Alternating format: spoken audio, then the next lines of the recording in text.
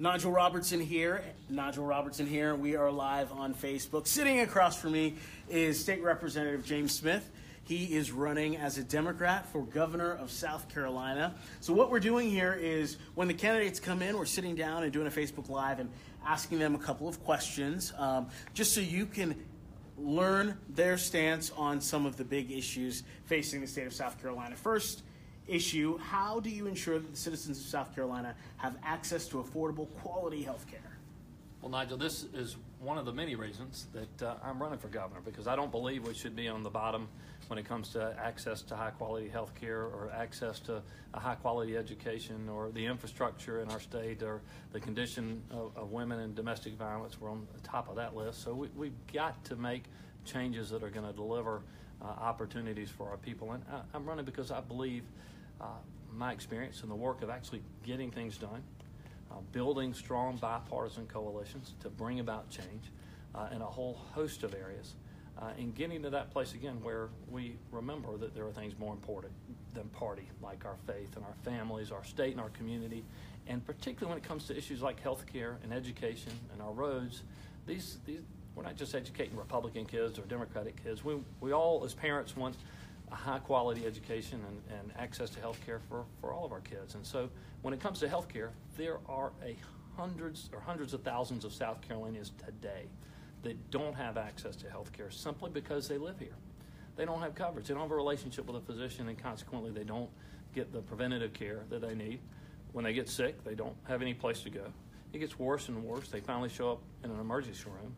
Costs 10 times as much for the care in, in an emergency room and we all pay for it. And increased health care costs, increased insurance premiums. Uh, there is a much better way. It's not about big government or small government, it's about smart government. So, as governor, I'm going to expand Medicaid and deliver the $2 billion a year that is now of our tax dollars going to other states to provide health care to citizens in those states. I'm going to bring that home to serve South Carolinians. And we're going to do it with a South Carolina plan, plan that's going to support and invest in preventative care build what we call medical homes. That means a relationship between a patient and a physician. Uh, and in the long run, we'll save dollars. And guess what? That revenue generates jobs. Over the lifetime of the planned initiative, it would be 40,000 jobs for South Carolina. Uh, particularly this area, the state's doing a lot uh, when it comes to health care with the Greenville Hospital System, and I help support some of the expansion of the educational component of that. Believe it's really important. Uh, that we're getting those resources to rural parts of our state. And I know the Greenville Hospital System's been a big part of doing that. Have good leadership over there uh, making that effort. So I'll continue to support what is happening there, but we need more of it. And uh, as governor, I'll deliver on that. And again, we're doing this Facebook Live so you have the ability to ask the candidates questions as well. So if you have a question, go ahead and type it underneath, and if we have time, we will get to it. The next question Do you believe the citizens of South Carolina enjoy gender equality, and what can you do to ensure it? Unfortunately, no. This is another area where South Carolina ranks at a place. Our statistics don't reflect the values of who we are as a people, right? We're ranked at 47 in the nation in terms of gender equality. And there's some reasons for that. When it comes to pay, women on average are, earn about 73 cents on the dollar to a man, a man in the same job. If you're an African American uh, woman. It's actually 53 cents. And so, look, women are working hard for South Carolina, but South Carolina does not yet work for women. And so, what we need is an equal pay law. We're one of four states that don't have it. I know, uh, with the leadership that I would offer, working closely with our uh, chambers of commerce all across the state, and I believe Republicans and Democrats who also believe that that's not reflective of who we are, we can change that. I'm also going to make sure that we have uh, more women in leadership. Uh, right now, they make up certainly 51% of the population. But when you look at the halls of government, the appointments, uh, they are not reflected in those uh, that are leading our state. And so, not having women in positions of authority and, and utilizing the tremendous gifts that they have, our strength is in our diversity. And we need, we all need, uh, to make sure that we have women in leadership and helping to move this state forward in a positive way. And we'll make that change. Certainly, we got to do better in domestic violence. We're still too high on the list. There's some things I know we can do to help support law enforcement, and more importantly, we've got to do a better job with helping victims. We need more shelter, shelters available in the state that can help make sure that we, uh, those that are victims, have the resources they need. that we work to build the independence that helps get out of that cycle uh, of domestic violence. Uh, and, you know, I know that we can do more on the prevention side. Uh, and these, these come from working closely with others uh, in the General Assembly who are helping to guide policy. Just a year or two ago, worked closely with Governor Haley to pass a omnibus uh, rewrite of how we handle victim resources when it comes to domestic violence. We now have a one-stop shop that's helping to do better to provide those resources, but we have a long way to go. and lastly, to get in a better place when it comes to gender equality, we need to do better about high quality child care um, and make sure it's available to everybody in rural, urban parts of our state and all walks of life. There are so many single parent families, uh, and that's why I sponsored and passed First Steps to School Readiness, important step in the right direction to improve early care and education. Uh, but it's not available enough yet. We need to expand, particularly in rural parts of our state, so that you know every parent can make sure that they know they have an option that's going to be there for high quality early care and education. Because if we make the investment then, which is why the business community was so for it in the past, it paid back ninefold for the dollars we spent to make sure our kids were healthy and ready to learn. Awesome. Again, we're sitting with Representative James Smith, who's a Democrat running for governor of South Carolina. Uh, time wise, how long has, have we been going on this Facebook Live? Um, about four minutes. About four minutes. All right, we have time for about two more questions. Um, what kind of infrastructure improvement is necessary in South Carolina, and how will you accomplish it?